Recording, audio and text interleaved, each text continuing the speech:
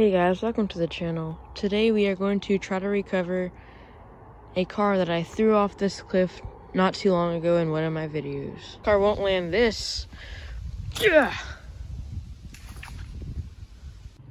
If you have not seen that video, the link will be right up there.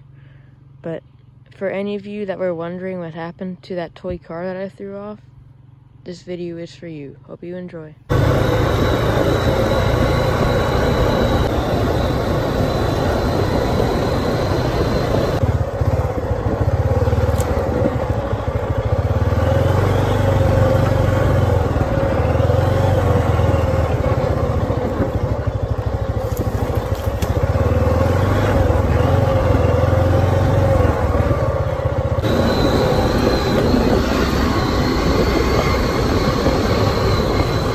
Here we are.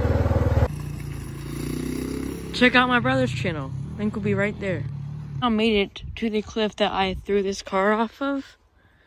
And it is right there. You can see some of that blue.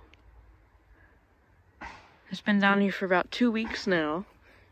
So I just thought I'll make a video getting it. Now the main question here is if anything broke on it and if it's all rusted out from the weeks it's been down here. So this, that wraps around right, oh, that wraps around right there.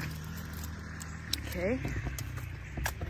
Now let's go check out the things I do for entertainment. Oh! So now we have the car right here. And by the looks of it, I mean, has a little bit of dirt on it. Nothing even broke on it from that fall. Actually, one of those pegs right there broke.